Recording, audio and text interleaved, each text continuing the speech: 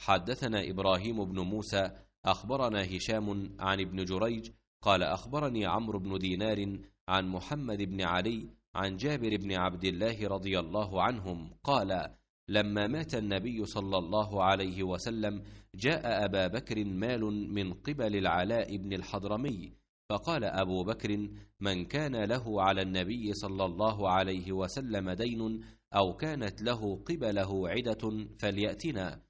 قال جابر فقلت وعدني رسول الله صلى الله عليه وسلم أن يعطيني هكذا وهكذا وهكذا فبسط يديه ثلاث مرات. قال جابر فعد في يدي خمسمائة ثم خمسمائة ثم خمسمائة.